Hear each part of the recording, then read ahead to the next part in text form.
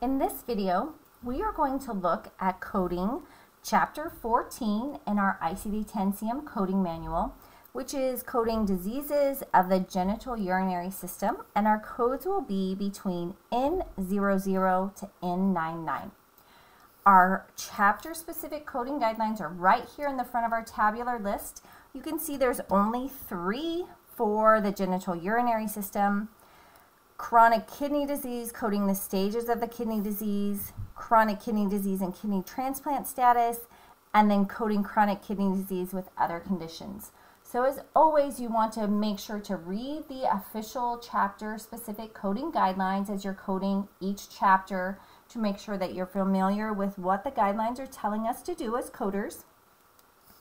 You can see the tabular list there's not a lot of pages in this chapter, about 17, so pretty brief chapter. Again, like always, we always utilize the front of our ICD-10 CM coding manual, the alphabetical index, which is right behind our official coding guidelines, to look up our diseases, diagnoses that we are coding we always look it up in the alphabetical index first and then verify in the tabular section next. So, as always, I'm going to give you three scenarios. I want you to pause the video after each scenario, try to find the correct answer yourself, unpause when you think you have the answer, and compare your answer to the answer I provide. So our first patient is a 56-year-old coming in with acute pyelonephritis. So what is the code we would assign for acute pyelonephritis?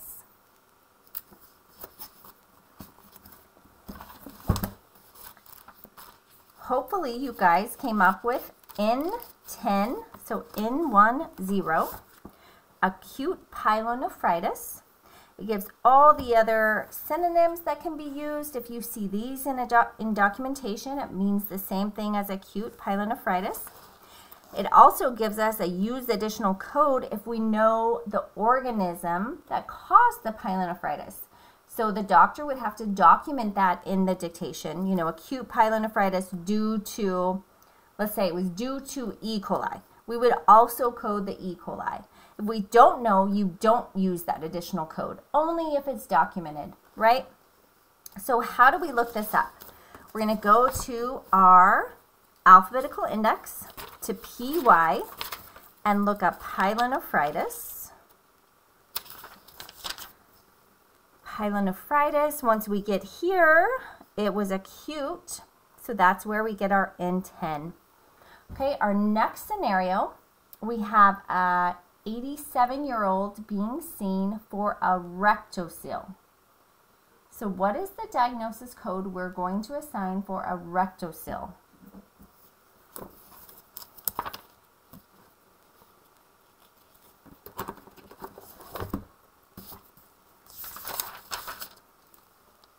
N81.6 is the correct code, rectocele, and again, it even gives us more information. Tells us that's a prolapse of the posterior vaginal wall, and use additional code for any associated fetal incontinence if applicable. So again, the documentation from the physician would have to tell you that the patient had fetal incontinence or fecal incontinence, sorry, to code that as well. You just can't pick up a code from a use additional code. It's only if the physician documented that that additional diagnosis was present in your patient as well. So how did we find this code in our alphabetical index? We just went to R, to rectocele,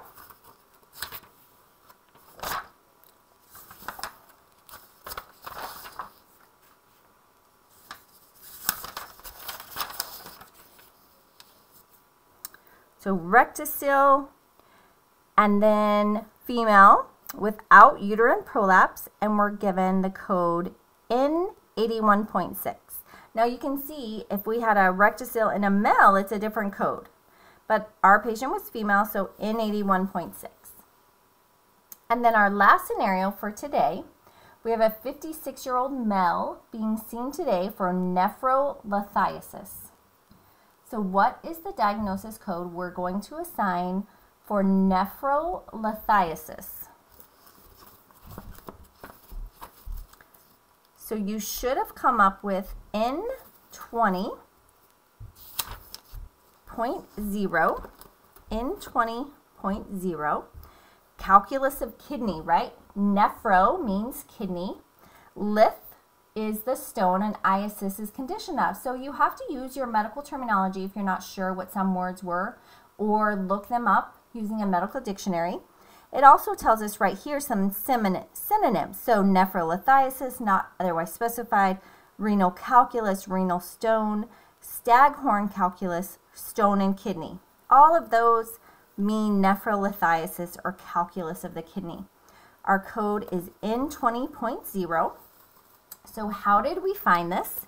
In our alphabetical index, we're going to go to N to nephrolithiasis.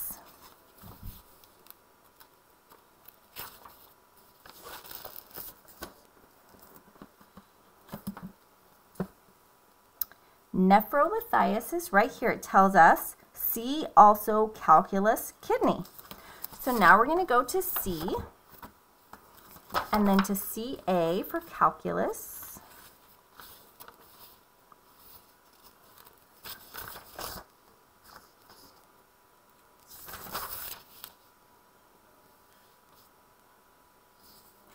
So calculus, kidney, and then we're given N20.0.